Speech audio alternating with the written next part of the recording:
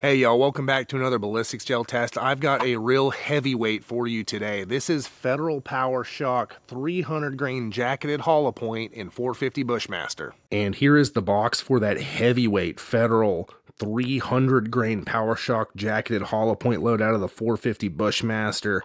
Let's take a look at the back. Here is some promo info if you like to stop, pause, and read all that go ahead. Here is your ballistics information. They're claiming 1900 foot per second at the muzzle with this big 300 grain bullet. We'll see how close we get to that. But for now, let's yank one out and take a look at one of these heavyweights right here.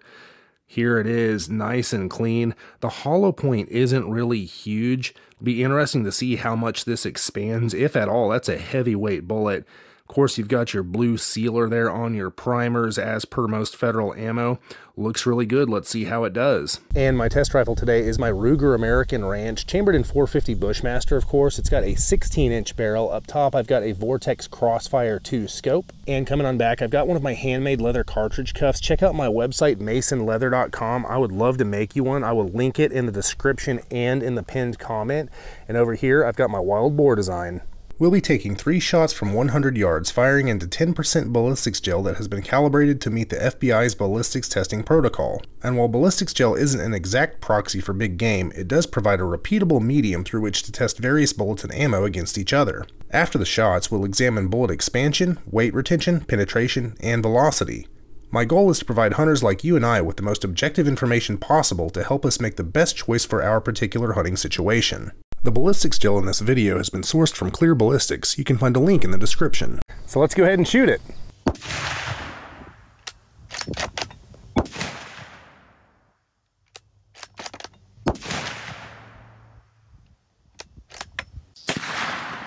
And let's take a look at the velocities for those 300 grain heavyweight Federal Power Shocks out of the 450 Bushmaster. Our high was 1839. Our low was 1784 and our average was 1811. And we are down here at the blocks after shooting that heavyweight 300 grain power shok out of the 450 Bushmaster.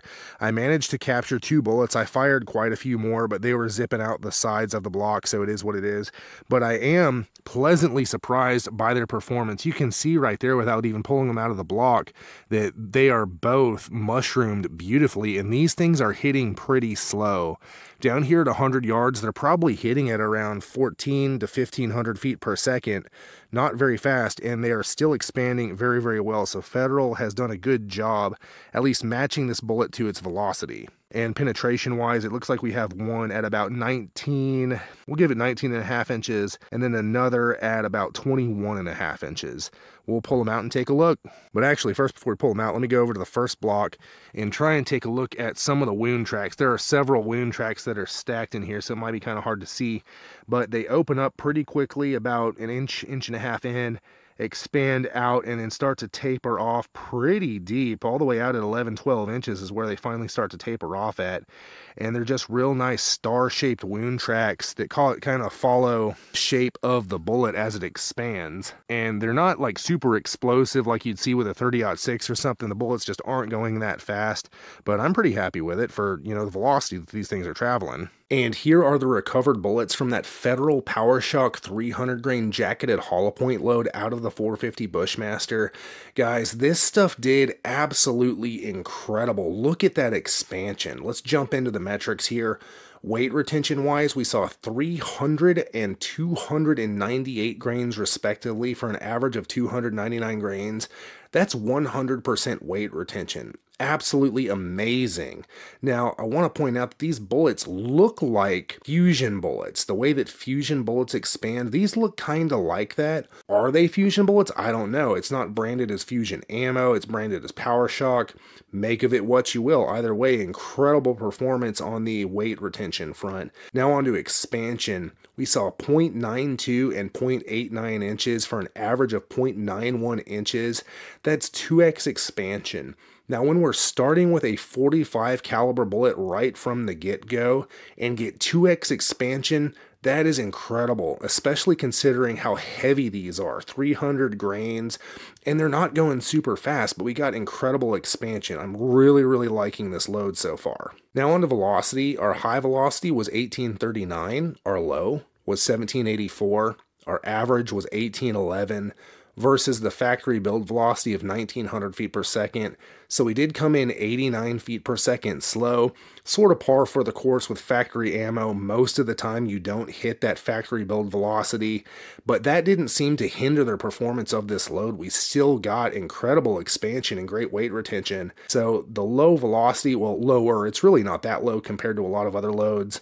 I'm pretty happy with it, and it could definitely be worse. And then penetration wise, we saw 19 and a half and 21 and a half inches for an average of 20 and a half inches of penetration. Now, that is on the light side for 450 Bushmaster. No doubt the penetration was hampered by the massive, massive expansion that we saw with these things. So, there's always going to be a trade off. When you get that gigantic, massive expansion, your penetration is going to be hindered somewhat, but we're still right there at that 20 inch mark that I like to see for medium game hunting. And then kinetic energy wise, with a 300 grain bullet going on average 1811 feet per second, that works out to 2,184 foot pounds of kinetic energy. All right, y'all, time for my final thoughts on these heavyweight federal 300 grain power shocks for the 450 Bushmaster.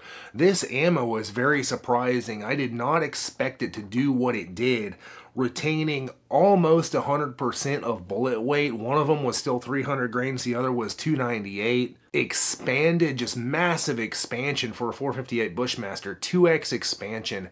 These things are starting out big and they're only getting bigger. I can't believe it, especially at the velocities that we got. This is a heavy for caliber bullet. Well, not heavy for caliber, heavy for cartridge bullet with a 300 grainer and a 450 Bushmaster. And we were still seeing 1811 feet per second. And so we got a little bit slower velocity than a lot of other 450 Bushmaster ammo. Stands to reason it's a real heavy bullet, but we still somehow got that massive expansion this bullet, whatever bullet is in here, is designed right. And then we came within 100 feet per second of the box spec velocity, 89 feet per second slow on average. We were shooting this out of a 16 inch barreled Ruger American Ranch. If you've got a longer barreled, barreled 450 Bushmaster, one of the CVAs, Ruger number one, one of the Henry single shots, they have longer barrels. No doubt you'll come a lot closer to box spec. I'm actually surprised we weren't slower out of the 16 inch barrel of my Ruger American Ranch. Very happy with the velocity of these heavyweights. Now, what was really interesting is the relatively shallow penetration that we got with this load, being that it's a heavyweight load.